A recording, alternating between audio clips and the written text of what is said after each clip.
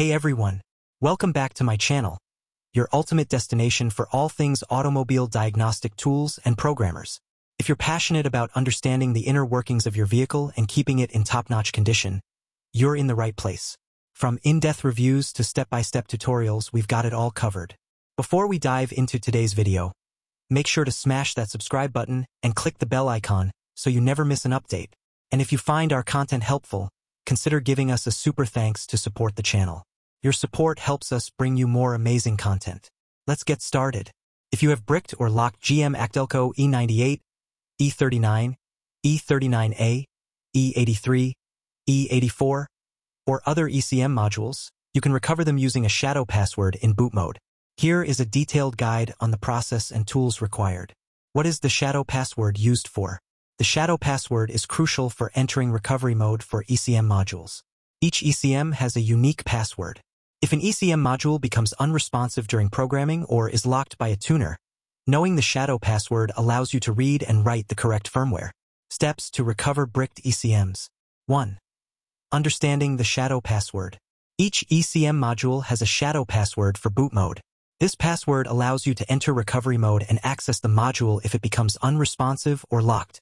The shadow password can be read while the ECM is still functioning. 2. Required tools. I.O. Terminal. M&D Flasher. OBDSTAR DC706-G3. These tools can read the shadow password from the ECM. Other tools like FG Tech, KESS, AutoTuner, CMD, PCM Flash, and Xhorse Multiprog cannot read the shadow password and are therefore ineffective for recovery without it. Even Flex requires the password to enter boot mode. 3. Reading the shadow password. Connect the ECM to one of the recommended tools, IO Terminal or OBDSTAR DC706-G3. Use the tool to read the emulated EEPROM, MPC flash, and shadow password. For example, with the OBDSTAR DC706, you can save a file containing the shadow password by clicking Read Flash. 4. Recovering the ECM. If the ECM is bricked and unresponsive, connect it in boot mode. Use the shadow password to gain access. Restore the ECM by reading and writing the correct firmware. 5. Example recovery process. Device used.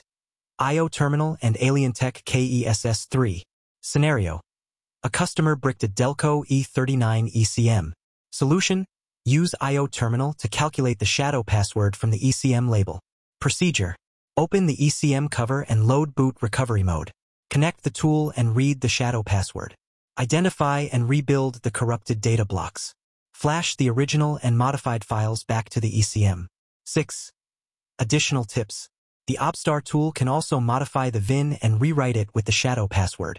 Always ensure you have the correct tools and passwords before attempting recovery. By following these steps and using the correct tools, you can recover bricked or locked GM Delco ECMs, saving time and money on replacements and reprogramming. Thanks for watching today's video. I hope you found it helpful and informative. If you did, please give it a big thumbs up and leave a comment below letting me know your thoughts or any questions you might have. Your support means the world to me and helps keep this channel going.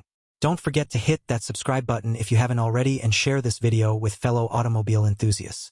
And if you really enjoyed the content, consider clicking on the super thanks button to show your support. Together, we can make the world of car diagnostics and programming a bit easier for everyone. Until next time, Take care and happy diagnosing.